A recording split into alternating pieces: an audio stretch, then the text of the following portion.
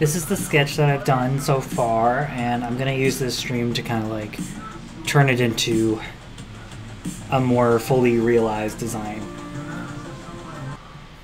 So I like to um, use circles to kind of get these big cartoon shapes out of the way. It's just a lot like neater than trying to do it freehand. Because I want this to be like really simple. I want it to almost be like a logo. What I really should be doing, I'm gonna do this. I'm gonna rotate this so that it's all like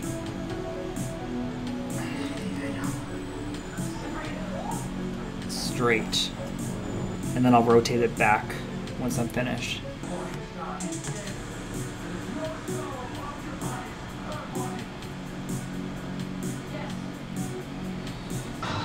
I like to take full advantage of the um, corner radius tool. So I can create something like this a lot easier and smoother using that.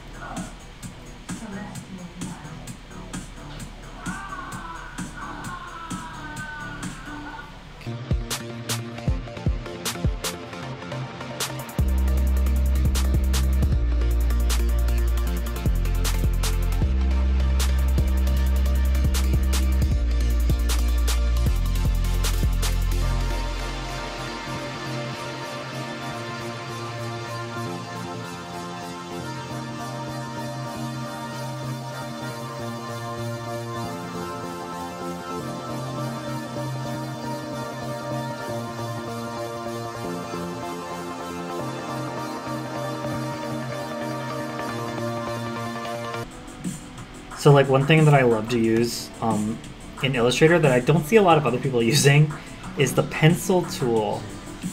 Has this like smooth tool, sub, you know, like sub tool, um, and I use it to like draw stuff kind of messy, and then I just kind of go over it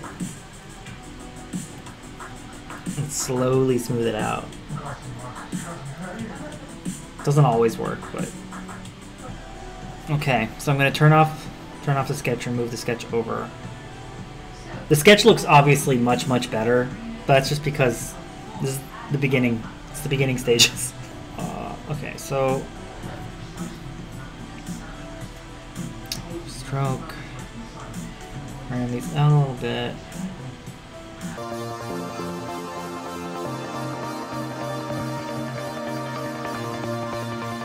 Would her eyes be more like this?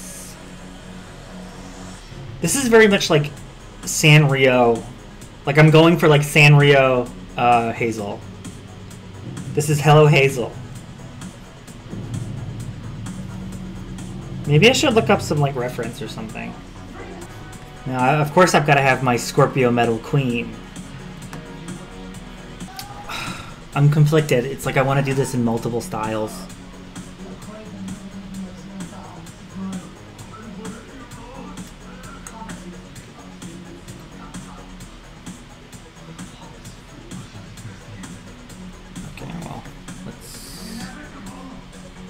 Chop some of this up.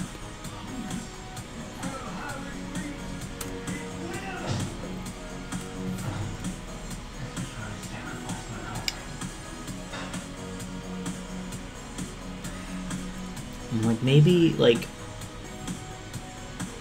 a little lower. She's got more forehead, I think, than.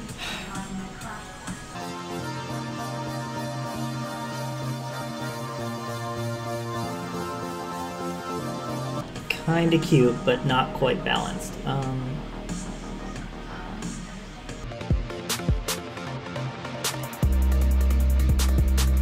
So I actually started using Illustrator when I was making a web like a web comic when I was like in high school. And it was the only like I was a fan of this comic called Real Life Comics. And what they used to make them were um it was Illustrator. So like I asked the creator, it's like, "Oh, how do you do this? What do you use?" And he used Illustrator, so I just I was like, "Well, I guess this is how you make comics." And I, I got Illustrator. Um, and then I just did the whole thing in Illustrator. And now people tell me, oh, that's crazy. That's a very labor intensive, awful way to draw a comic. Um, and yeah, they're right. See, like, if you use the smooth tool on, on this kind of stuff, like, it can make it look a little bit more natural. You can get kind of like a, a nicer curve instead of like one that's a little bit like too geometric.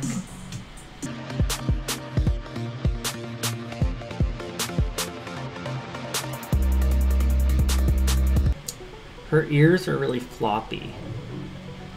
So I want to make sure they have that floppy kind of kind of feel.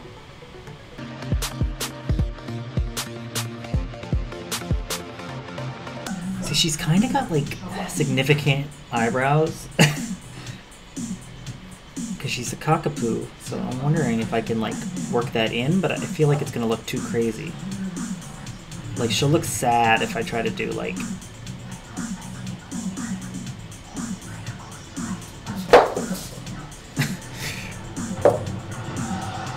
Okay, wait, I think this might look more like her if I get this right.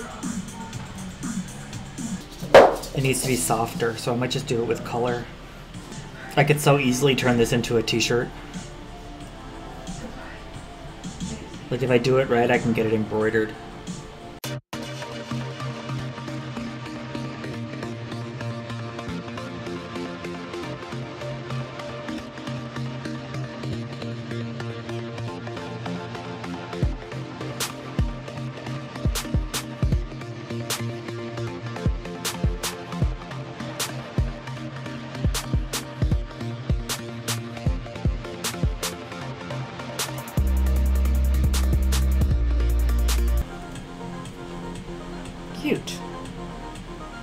Like that shape a little better. Gonna keep that. Bring over this other one.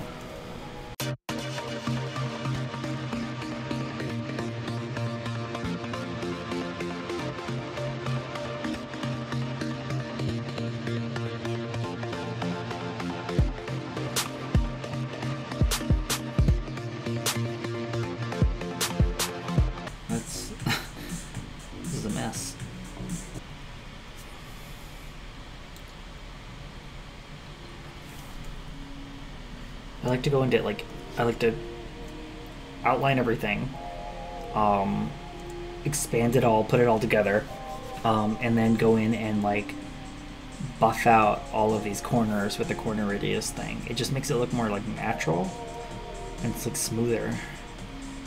Um, this one's having issues. It's not showing up.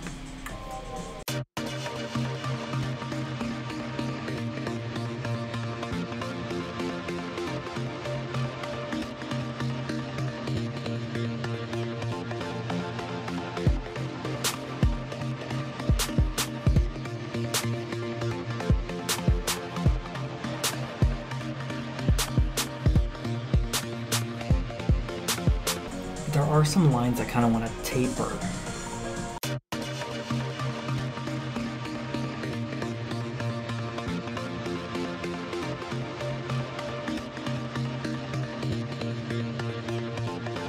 Pretty good. It looks cute. I'm doing it kind of like a Hello Kitty. I really like this, but I would like it more if you would show more of how heart-shaped hmm. her nose is. I know this might change things, but there's like kind of a dent. Mm. Maybe I'm, not. I'm wondering if it's too much detail, but I mean, Maybe not. I don't know. Yeah, I like that. It's kind of cuter. It's like a little. It's very subtle. So it's very subtle, yeah. But so is hers. Mm. Kind of hard to do, honestly, but to make it smooth.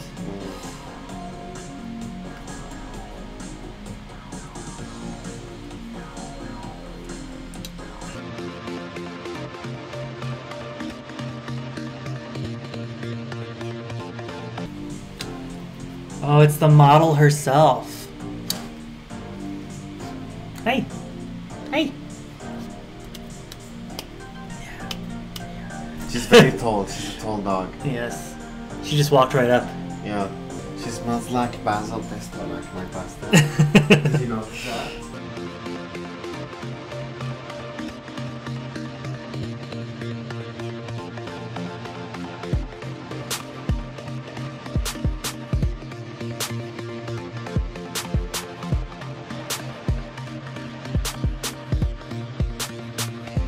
Some of this royalty free music is kind of good. I'd listen to this.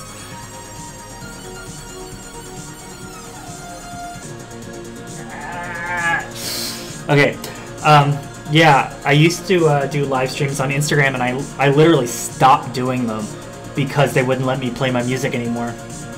Am I drawing you? Am I drawing you? Are you gonna be a logo? Who, who's my little logo? Who's my little logo? The answer is Hazel.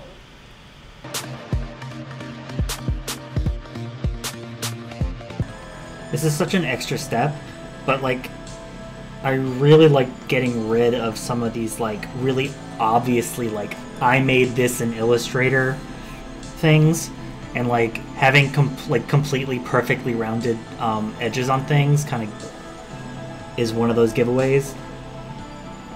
So I just take the time to like manually kind of taper the lines. I actually think Add, yeah, add a little bit of thickness. Yep. Yep, that looks better. I think it would be cuter if this was even shorter.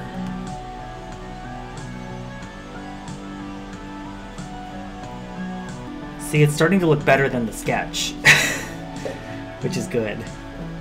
There's always this period where the sketch looks better, it's kind of annoying. okay, now I'm gonna group all this and then make a new layer. And I'm gonna add some color. Which what should the colors be? So like sampling an image never works but kind of like a latte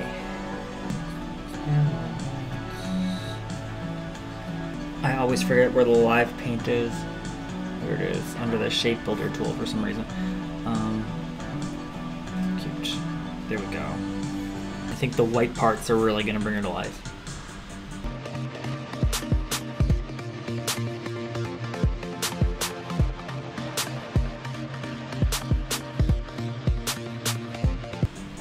Has like little white paws.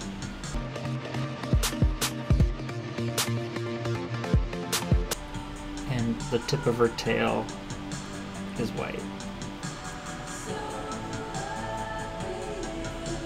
So actually, like her whole chest is white too, and her ears are darker. So I kind of want to do something about that. Like,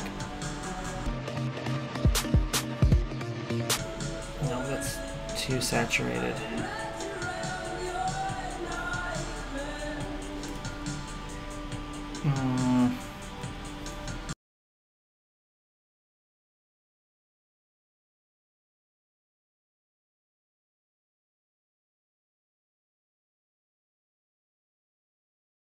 Like whole chest and belly is like white so i'm like can i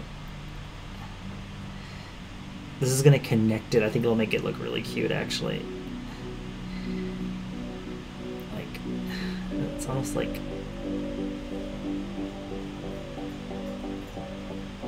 i don't know if that'll work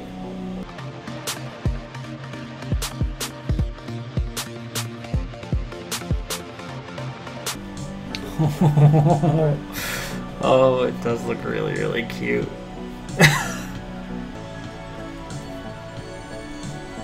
oh my god. it's really cute. Oh my god, now it looks much better than the sketch. I'm not 100% sure the colors are right. Definitely not on the ears. That's better. Okay, I want to like... In a way, I like mine better. Because I'm looking at this and it's like the black lines. Like there's hardly there's hardly any white in these arms. Like it's too much. Huge. That's pretty much it. I mean. Okay, actually, this here could probably be perfected a little bit more. Like Photoshop and Illustrator are just really different programs. So, you know, if you want to make something that looks like this, Illustrator. Um, but if you want to do anything, you know, obviously any like any anything with texture, anything with, you know, varying line widths, anything that, you know, isn't basically like almost a logo, Photoshop. I think that's like people get frustrated because they can't make whatever they want in Illustrator. You just kind of have to have like an idea of what you can make and then like embrace that style. Yeah, I'm happy with it. That looks legit. I just love like flat colored backgrounds. I think they always make stuff look really good. Look at it. No way. This is so cute. And I put it on my screen, like if I had it like a little Oh no. a little camera or something. It's like a really good logo. I love it. I want it on everything. it's so cute. Those guys. Oh yes. Oh my god, that would be amazing. Yeah, she'd have like I mean if it was the Hazel Funko Pop, she'd be like I don't like that. Hazel Hazel Funko Pop. No. Um, no. yeah, it look, I she, she looks like she's on drugs. She looks possessed. this is like if she did mushrooms. Okay, well, I'm gonna log off because Hazel just threw up. that that's she obviously doesn't like it very much. Bye guys.